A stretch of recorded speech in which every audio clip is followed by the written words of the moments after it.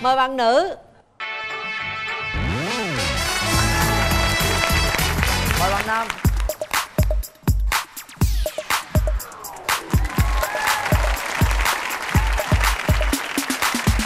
À, em giới thiệu về mình.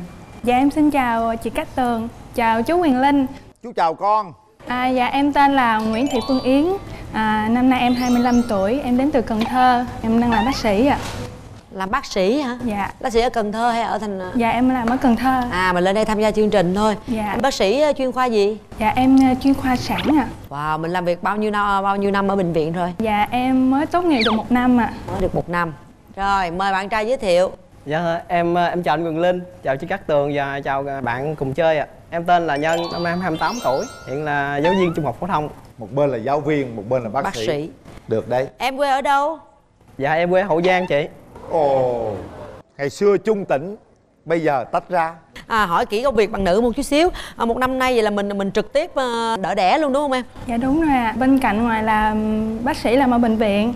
Dạ thì hiện tại em cũng đang là giảng viên của trường đại học y dược Cần Thơ luôn. Wow giỏi quá ta. Ủa vậy là thời gian mình ờ, phân bổ được cho hai bên luôn hả? Dạ đúng rồi ạ. Ban ngày buổi sáng thì mình đi bệnh viện.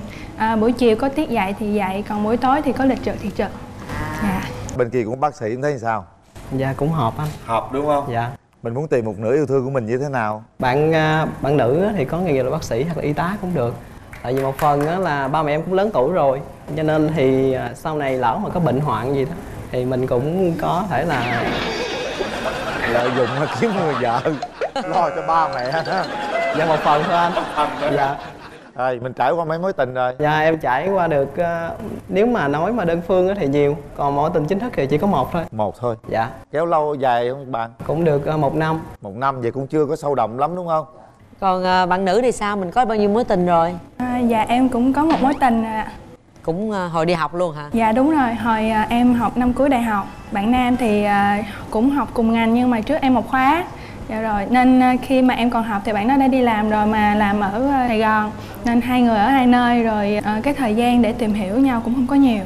Xa mặt cách lòng chia tay luôn. Dạ. Ồ hiện giờ mình làm trong bệnh viện rồi cũng mấy bác sĩ rồi cũng nhiều không ai đeo đuổi mình sao Dạ, à, thứ nhất là tại vì à, môi trường là bệnh nhân của em đó là đều là các bà bầu hoặc là những phụ nữ hết. Thêm cái nữa là những đồng nghiệp thì đã có gia đình hết rồi. Mình đi dạy nữa chi môi trường mình nhiều mà. À đúng rồi thì cũng là các em là mới ra trường nên là nhỏ nhất trong trường luôn. Nên hầu như là các à, thầy cô anh chị thì cũng có gia đình. Rồi còn nhỏ hơn thì lại là sinh viên ưu điểm với khuyết điểm của mình? À, mọi người đều nhận xét em đó là nói chuyện thì nhẹ nhàng. Ừ. em thích lắng nghe người ta nói chuyện tức là mình muốn nghe người ta chia sẻ nhiều hơn. Nhưng đó lại lại là nhược điểm của mình đó là mình thích nghe nhiều hơn thích nói. À, đôi khi mình không bày tỏ không chia sẻ những cái suy nghĩ của mình ra. Ta không hiểu được mình. Dạ đúng rồi. Đó giống với em đó anh. sao bạn trai? Em cũng thích lắng nghe hơn là thích nói. Giờ hai người nghe không là ai nói bạn từng là giảng viên đại học đúng không Dạ, hiện tại thì em đang học lên. lên thạc sĩ Dạ. thạc sĩ xong tiến sĩ Cái đó em cũng dự định thôi anh. Dự định tương lai chắc lấy vợ trước rồi mới học tiếp. ủa giảng viên đại học sao nãy nghe nói là dạy phổ thông Dạ, trước đó thôi chị, còn hiện tại thì em vẫn dạy phổ thông chị. à ủa sao tự dạy từ dạy đại học mà xuống dạy phổ Tại thông hồi xưa em dạy ở Sài Gòn á, xong rồi cái nhà em không có ai hết. Rồi mẹ mới nói là thôi về quê đi, cho nó gần rồi em à, về quê. à Dạ. cái về quê thì họ họ Xuống dạy xuống cấp mình có điểm mạnh điểm yếu gì vậy bạn Em có thể ờ, chơi thể thao, à, biết lắng nghe, nói chung là giao tiếp tốt, kỹ tính. Và điểm yếu thì có thể là hơi nóng tính. bạn nam muốn mẫu người bạn gái như thế nào À, Bạn em thì cao khoảng chừng mét sáu trở lên, cân đối. có phải làm dâu không Cũng không cần đâu chị. ủa rồi ba mẹ lớn tuổi rồi mà nếu mà không làm dâu thì à, ai ở với với ba mẹ rồi ai chăm Thì sóc ba nếu mẹ vậy em phải đi ờ, đi về thường xuyên. Có có chuẩn bị gì để đám cưới chưa? Dạ có rồi hết rồi chị. nhà cửa gì có chưa? Thì về ở với ba mẹ. mới nói không làm dâu. Các bạn không thích nhất điều gì ở người phụ nữ. Ở dơ. bác sĩ làm có dơ Hai căn hai căn dặn. hôm nay ít nói không nói chuyện. Bác sĩ không có nói không em có nói nhiều em đâu. cũng ít nói lắm. rồi ok. Để coi coi sao. Bác sĩ làm dâu được không? À, đi học không là biết làm việc nhà không Dạ làm việc nhà thì em có thể quán xuyến đảm đương được nhưng mà còn cái việc nấu ăn thì em không không bảo đảm. nhưng mà vẫn làm được đúng không dạ. chú chào con Dạ con chào chú.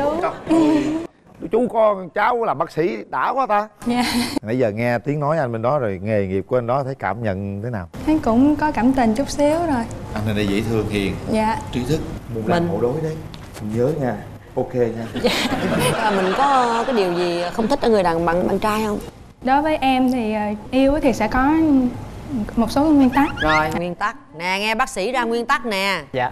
Thứ nhất là phải phải năm t tôn trọng phải thành thật phải tin tưởng phải thông cảm à, rồi phải thẳng thắn. Cho nên đó là nếu như mà bạn nam mà vi phạm vào 5 t đó thì đương nhiên là em không thích rồi. Bạn ờ, bạn đảm bảo được mấy tê dạ chắc có thể là hết năm luôn á chị. Phải không? Em thẳng thắn lắm chị à, bạn nữ thì làm bác sĩ hay đi trực đêm thầy giáo có đồng ý không? Dạ cái đó không sao chị đó là làm nhiệm vụ chị ơi. Đang đêm đang ngủ mà có ca đẻ cấp cứu là đứng dậy đi là phải ờ, vấn đề gì không? Dạ không mất quá thì em em em chở bạn nữ đi ờ, vô bệnh viện đó chị. Ở nhà rồi bạn ờ, phụ rồi nấu ăn rồi này kia luôn. Em cũng thường hay lên mạng coi những cái clip của anh Quyền Linh dạy nấu ăn cho nên em cũng đang học cái mẫu người giống ảnh đó được. Rồi thôi vậy cũng được. Đàn ông phải vô bếp phụ vợ ha hôm nay ờ, bác sĩ có đi mình đi có người nhà mình đi theo không? Đáng lẽ là cũng có chị đồng nghiệp đi cùng nhưng mà hôm nay là bận việc gia đình đột xuất nên em đi một mình. Bạn trai có đi với ai dạ không em đi với hai chị với em út. Em thấy em gái này cũng hiền mà vui vẻ. Với nói chuyện đồ em em thấy em thích. Dạ. Chị thấy em hiền chị thích em rồi đó. Còn em không biết có thích em chị hay không rồi chị rồi bây giờ mình cho bác sĩ với ờ, chàng thạc sĩ tương lai gặp nhau đi ha. Kéo màn lên. Các bạn sẽ có hai phút trò chuyện. Bắt đầu. Dạ. Tặng em. Dạ em cảm ơn. Em thấy anh sao? Dạ cũng như tưởng tượng ạ. Anh à, có nhận xét gì về em không ạ? Em thì dễ thương quá dễ thương. Dạ rồi thế thì nếu mà có gia đình rồi thì anh à, xây dựng hoặc là anh suy nghĩ về cái cuộc sống gia đình tương lai như thế nào? Khi mà hai vợ chồng cưới hai người đến với nhau á, thì anh trong mọi công việc thì có sự chia sẻ với nhau thông cảm tin tưởng ở nhau. Anh à, thích gia đình có bao nhiêu con ạ? Tại vì đi làm em cho nên hai con đủ rồi. Em thì thích à, một lần sinh đầu mình sinh một đứa thôi lần thứ hai thích sinh đôi. Ừ. thế thì được ba đứa thì cũng đâu có vi phạm gì đâu. Tại lần thứ hai mình ngẫu nhiên mà em quan niệm như thế nào về tình yêu?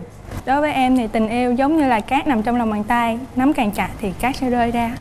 Cho nên là à, em là một người sống rất là thoáng suy nghĩ thoáng và cũng không gò bó hay kiểm soát gì người yêu của mình hay là chồng của mình hết.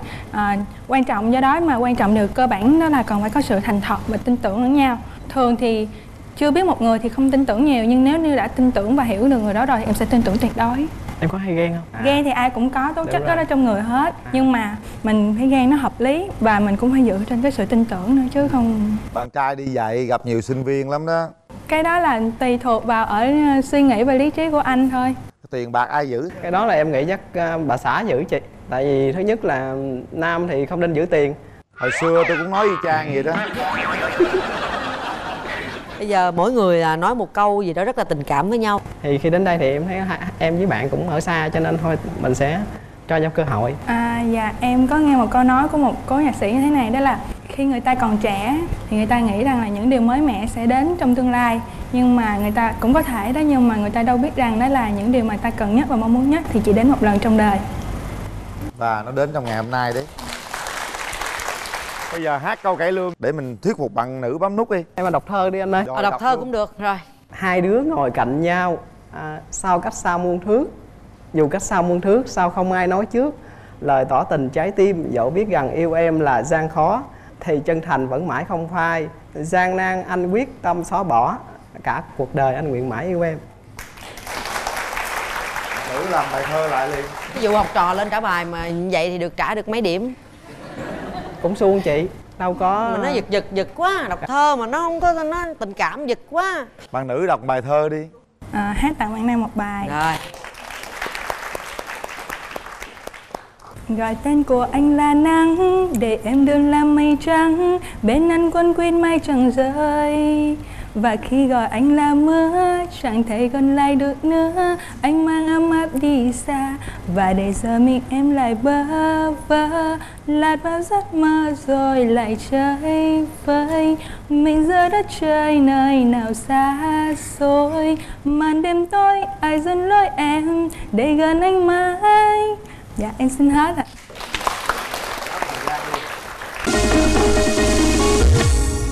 Nào chúng ta chuẩn bị uh, đây, tiến hành tay vào đây bấm nha. nút hay là không? Bấm nút trò chuyện đã qua hiểu nhau cũng một phần và bây giờ đến quyết định. Ba tiếng đếm bắt đầu.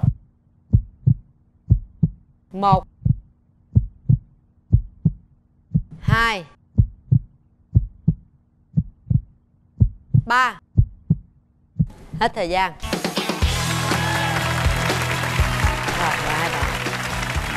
Chúc mừng hai bạn nhé từ ở như miền tây lên đây cũng là một cái duyên rồi. Hy vọng rằng cái nợ nó cũng sẽ đến gần nha. Duyên với nợ sẽ gắn chặt hai bạn với nhau hơn. Gửi tặng các bạn những chiếc vé xem phim. Chúc chúng ta sẽ tiến tới hôn nhân ngay gần đây nhất gửi tặng hai bạn nước xịt thơm miệng thảo dược Relax. Quà tặng dành cho hai bạn là một suất chụp ảnh cưới trọn gói trị giá 15 triệu đồng tại Đà Nẵng hoặc thành phố Hồ Chí Minh áp dụng cho các hệ thống của áo cưới Ireland nếu như hai bạn tiến tới hôn nhân. nào hãy đưa bạn gái đi Thầy giáo và bác sĩ. Dễ thương. Hy vọng rằng họ sẽ